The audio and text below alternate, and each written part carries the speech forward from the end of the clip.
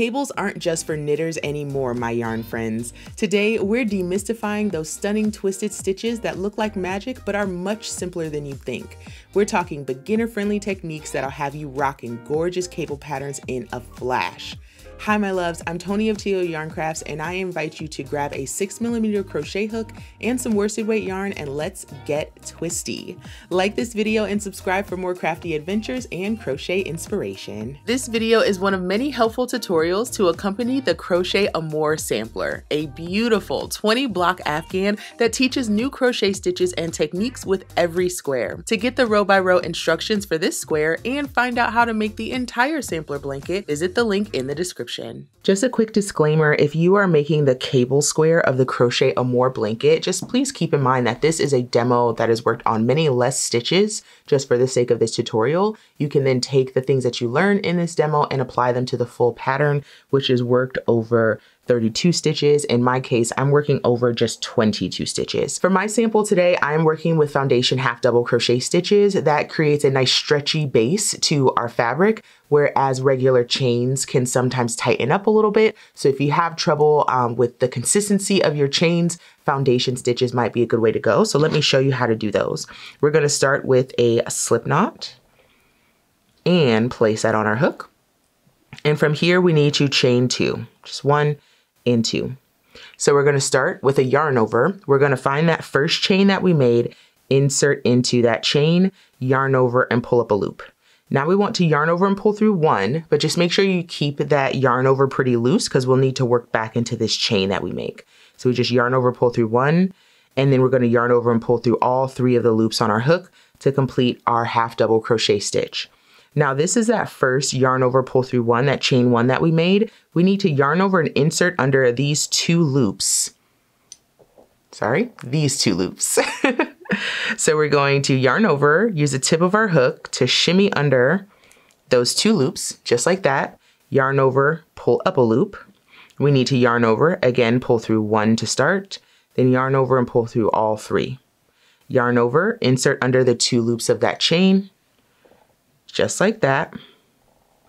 Yarn over and pull up that loop. Yarn over, pull through one, then yarn over, pull through three. And we're going to continue doing that in this case until we have 22 half doubles made. So let me make just one more. We'll walk through it together. Yarn over, insert under the two loops of that chain, yarn over, pull up the loop, yarn over, pull through all three for the half double. Now when I lift my loop up and out, I'm gonna count the V's here at the top where my yarn is coming out from. So I have one, two, three, four, five half doubles so far, and I need to work until I have 22 total. Now, if you prefer to use chains, you'll want to chain 23, then half double crochet in the second chain from the hook and each chain across until you have 22 total half doubles. I'm gonna keep working on my foundation stitches. Join me back here when you have the right number of stitches as well. My foundation stitches are now complete and you can see I have a nice stretchy base to the bottom of my work. It's just kind of what I prefer. I'm one of those people that struggle with making my chains consistent. So foundation stitches to the rescue, okay? So now let's move into row one of the pattern. We're going to chain one and turn, and we just need to single crochet all the way across. So we're just going into the stitch, yarn over, pull up a loop, yarn over, pull through two insert yarn over, pull up a loop, yarn over, pull through two, all the way across.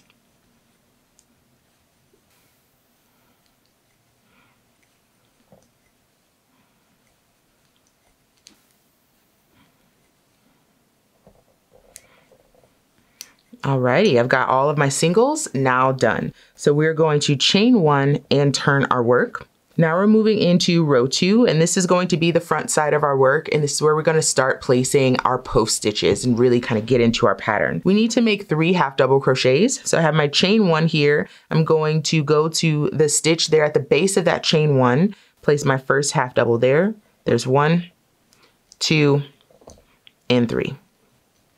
Now I need to do four front post double crochets.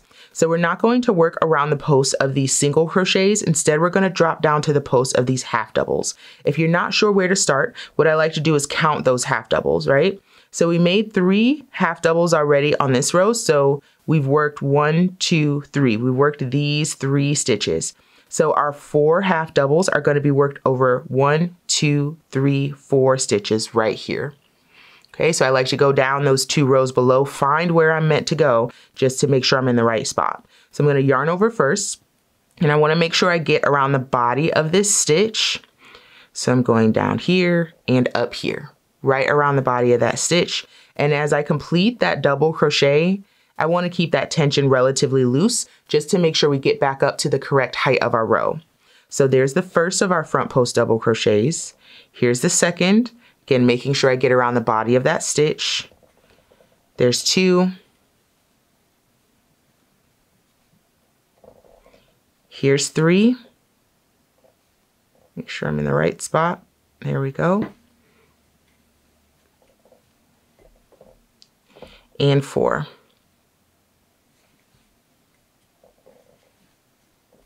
There we go. So if I take a look at the stitches behind the post stitches that I just made, I made four post stitches. So I need to skip four single crochets back here. This is the single crochet that's worked. So I'm skipping one, two, three, four. So my next half double crochet is gonna go into this stitch right here. So let me tighten that loop back down, give it another count, make sure I'm in the right spot. One, two, three, four are skipped. So my first half double goes here. There's one, two, and three. So now I need to work two front post stitches. So I'm skipping one, two, three half doubles because those are what are worked up here. So my first post stitch needs to go around this stitch right here. There's one. And one around the next is two. Don't worry, this will be way easier on subsequent rows. This is the trickiest one of the bunch, I promise you. So now we need to work three half doubles. So I'm gonna skip one, two stitches behind what's worked. My next half double is gonna go here. So there's one, two, and three. And now I need to do four front post doubles. So these are the two that were worked by my front post doubles before. I'm skipping one, two, three half doubles, and I need to work my first front post around this one. So here's one. Here's two. Here's three. And four. And I'm gonna end my row with three half doubles. And since I'm at the end, I can clearly see one, two, three stitches left. So we've got one, two, three. Whew, deep breath. Relax those shoulders, roll those shoulders a little bit, relax your jaw. You did it. And it doesn't look like much right now, but we're really kind of creating the base. So for all of our wrong side rows, we're just gonna single crochet across. This is a great time to make sure you still have the correct count, which should be 22 stitches. So we're just gonna single crochet in each stitch across, and we're grabbing just the stitches here on the front, not any of those skip stitches back here. So just be careful to grab only those stitches there on the front. Because these stitches on the back are skipped.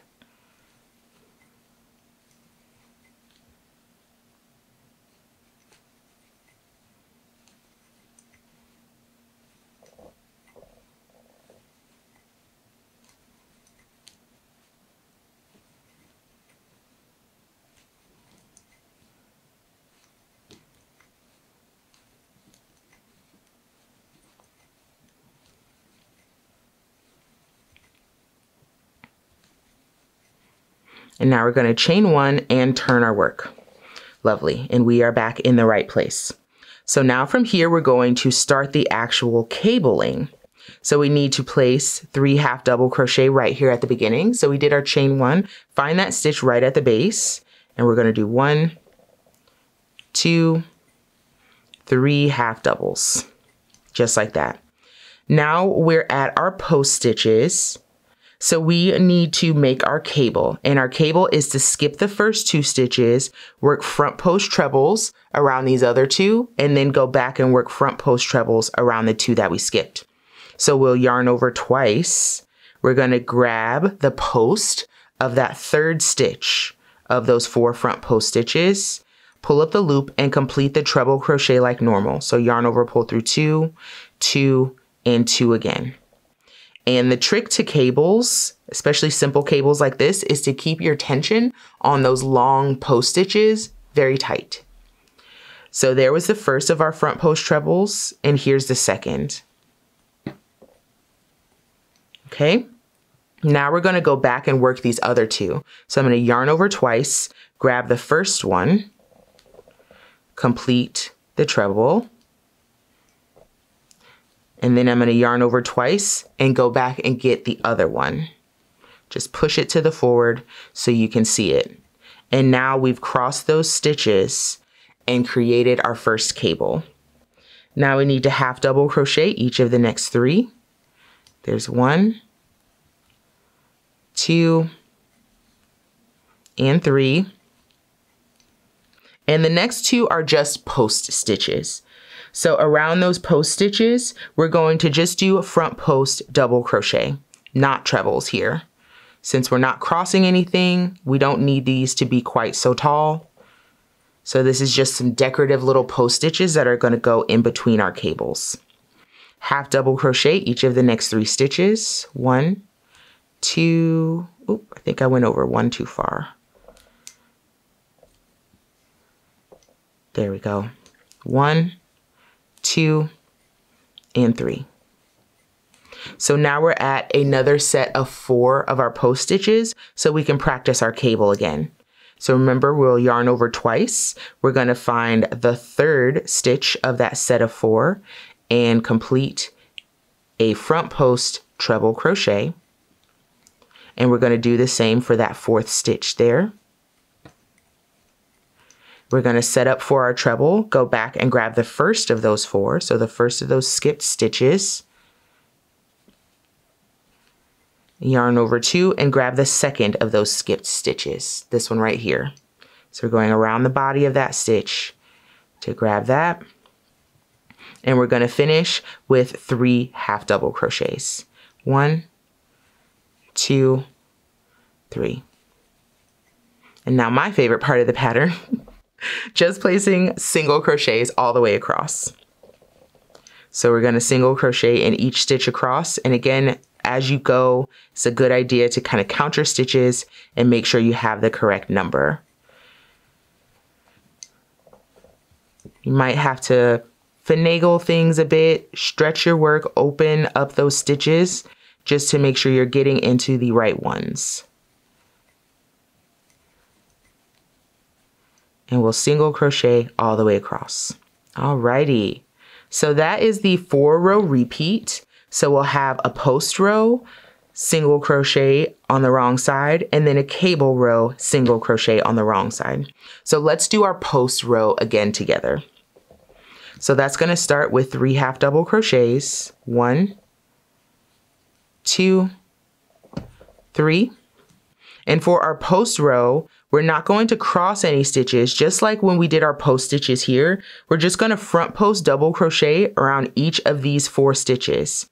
So I've got my yarn over and first you kind of want to orient yourself, right? So we crossed our stitches over each other. So we're at one, two, three, four. And we want to keep that in order to make sure that our cable still presents itself. So we're going to grab the first stitch, then go around and grab the second stitch.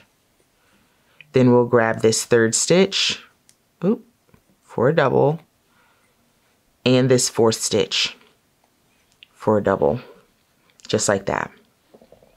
Half double crochet each of the next three. One, two, three. Front post double crochet these two post stitches here. So going right around that stitch, there's one and two. Half double three. There we go. One, two, three, and then we need to front post each of the stitches of this cable. So remember just front post doubles, we're gonna grab the first stitch, the second stitch, the third stitch, and the fourth stitch. And as always, we end with three half doubles. One, two, and three. Chain one, and as for all wrong side rows, we're just gonna single crochet across. Getting towards the end of my row here, one more single into this last stitch. Lovely. Chain one, turn the work. So if we kind of flatten things out a little bit, you can start to see those cables emerging. This is something you're absolutely going to have to block because it's gonna curl in all the directions. We're putting a lot of tension on the front side of this work. So if you really wanna let those cables shine, be prepared to block this at the end. So next, let's move on to our cable row. So we've done our chain one and we start with three half doubles. One, two, and three. Now we need to do our cable. Remember we yarn over twice. We're gonna find those four post stitches we made on the last row. And remember we're gonna start with this third stitch of those four and put a front post treble around that stitch. So there's one and a front post treble around the fourth stitch. There's two. Then we're gonna go back, open your work up however you need to, and find those first two post stitches right there. Grab the first one. So there's the third step of our cable and grab that second stitch to finish the cable. Just take your time here, make sure you're getting around the correct stitches. Now we're gonna half double crochet three, one, two, and three. And now we have these post stitches. Remember those always just get front post doubles. Those are just some decorative, nice little posts that go in between our cables. Half double crochet each of the next three again. One, two, there you are, and three. And we're at another cable, so I can see my one, two, three, four post stitches. I'm going to front post treble around three and four, then go back and front post treble around one and two. So yarn over twice to start, grab the third post and the fourth post. Then go back and grab the first post and the second post. And we finish off with three half doubles. One, two, and three. Do you see that cable starting to pop out? So every time you do that twist, you get a little bit more definition. And we've got this nice kind of breather in the middle of just those regular post stitches. So you're gonna continue to repeat those four rows. So single across the back, and then we have a post row, single across the back, and then we have a cable row. Continue on, and I'm gonna put a little bit more fabric on my swatch, then we'll come back and compare notes and make sure we're in the right place. I am finishing up my wrong side row after one of my cable rows. Give it a little chain one, and turn. And this is what my square looks like so far. It's so pretty. I just love the texture of these cables, even though I'll be honest, they're a little bit of a pain in the butt to do, but totally worth it for an outcome that looks like this. Okay, so to finish this off, we need to repeat our post row. So remember that's three half doubles, one, two, three, and then putting a front post double crochet around each of the four stitches here in this cable. So here's one, here's two, kind of tucked behind, there's three and four. So front post double crochet around each of those four stitches. There's two, here's three, and four. Half double in each of the next three. One, two, three. Front post double around each of these post stitches here. One and two. Half double three. One, two, three three, there you are, and front post around each of these four stitches. One, come here, two, there you are, two, three, oop, and four.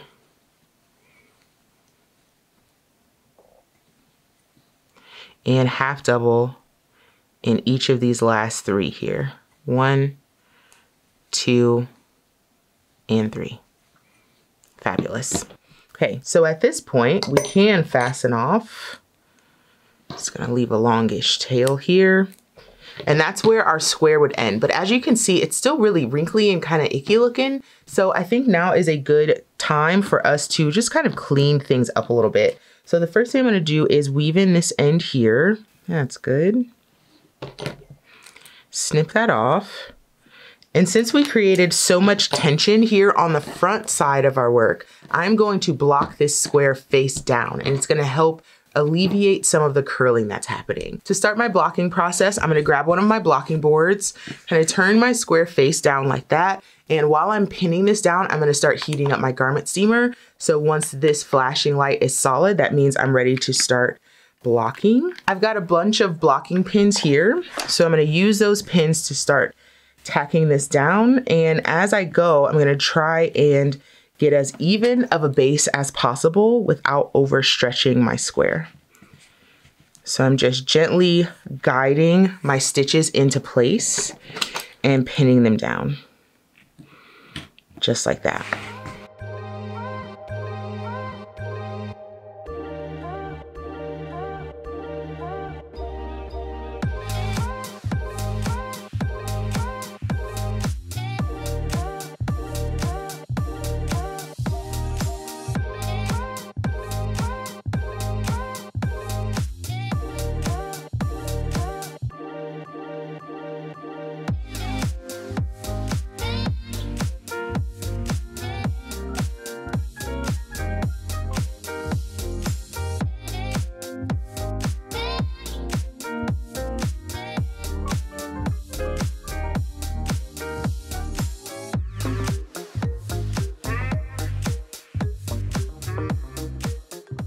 Here we go. That feels square-ish.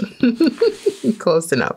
So my steamer is all warmed up. So let's start the steaming process. And what I'm essentially doing is gently steaming the whole thing. And I want it to be damp to the touch because we want to make sure the steam permeates to the front of the fabric and softens up those stitches. So I like to go over this several times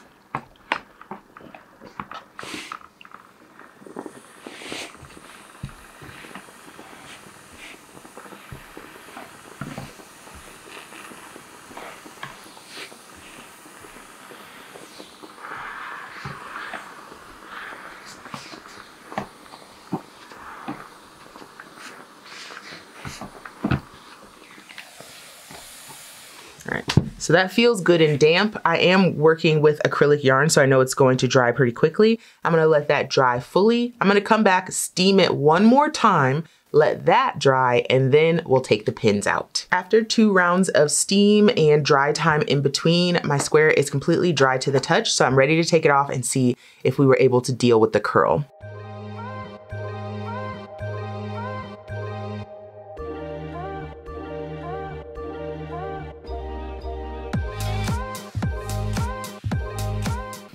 Okay, moment of truth. Here we go. Flip that bad boy over and look at that. It's nice and flat. Oh my gosh, it looks so good. look at those cables. And by steaming it this way, it does flatten the cables just a little bit, but I think if anything, it adds a bit more definition to the cables. It makes them a little bit easier to see and it also gives it a little bit of smoothness, but you can block it face down or face up. It doesn't matter. It's going to work either way wow, that turned out so lovely. Every time I make something with cables, I'm like, oh, I should make more stuff with cables. And then I just don't because they're cables. But this was fun and thank you so much for joining me for the tutorial. If you enjoyed it, go ahead and like this video and consider subscribing to my channel because I do stuff like this all the time. And I will see you in the next one. Bye.